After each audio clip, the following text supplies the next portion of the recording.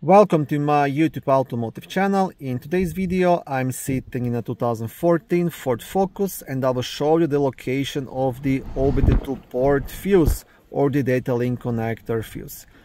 This video should apply to third generation of Ford Focuses made from 2011 all the way up to 2018.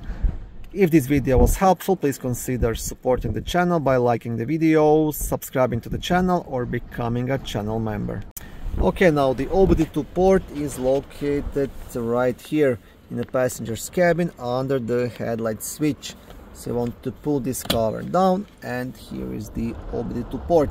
Now in case this port is not working for you, when you connect your uh, OBD2 scanner, the first thing is to check the fuse because most likely that's the issue. If fuse is not the issue, then the next thing to check is the wiring towards uh, towards this port. Okay so the fuse to check will be in a small fuse box which is in a passenger's cabin under the glove box. So I turn the flash on my phone so I can show it to you better. Now the first thing you have to remove this bottom cover. To do that you'll have two black uh, plastic screws one here one on the opposite side so just want to unscrew it and pull it down. Both of them.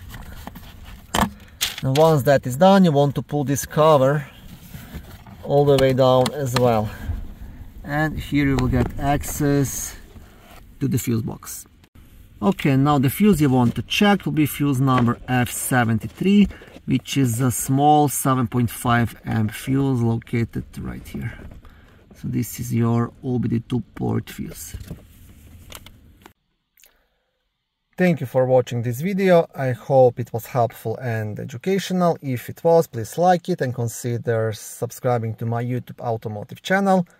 On my channel there is lots of how-to videos, do-it-yourself videos, car reviews, product reviews and other similar automotive topics.